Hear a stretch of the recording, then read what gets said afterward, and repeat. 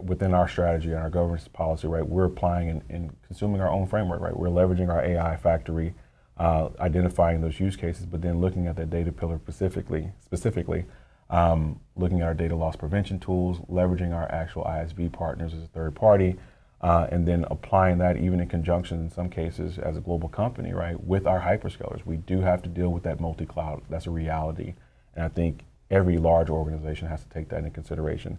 Um, but as we look at our supply chain and our CI/CD pipeline from our software uh, supply chain, um, ensuring you have proper governance and the right tools for visibility, looking at doing proper data hygiene becomes more and more critical as we move forward. Uh, I think part of what we've looked through is categorizing our individual ISV partners, working with our channel partners such as FutureTech to identify what works within each market and meets all those regulatory uh, and compliance requirements at scale.